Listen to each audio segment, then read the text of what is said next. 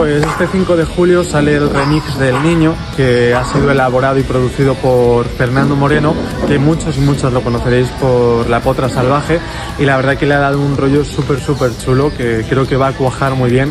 Y es, sí que es cierto que tenía muchas ganas de que alguien, de que un productor, un DJ, pudiese coger un tema mío y lo pudiese convertir ¿no? al hardstyle, como es en este caso. Y la verdad que creo que otras canciones mías no habrían pegado tanto como este y es como que se han juntado todos los astros para que esto pudiese pasar y os la recomiendo muy mucho porque suena súper súper bien.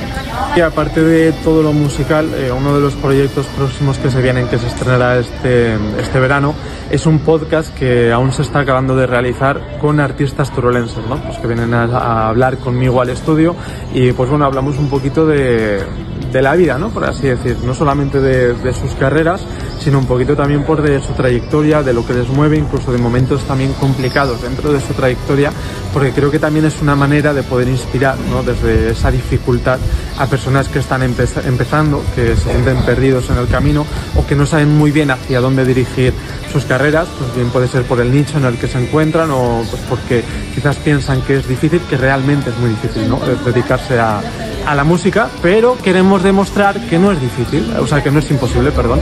Así que, que, bueno, va a ser un podcast muy dinámico, va a ser una primera temporada con 10 artistas que pronto podréis descubrir y nada, este verano será el lanzamiento.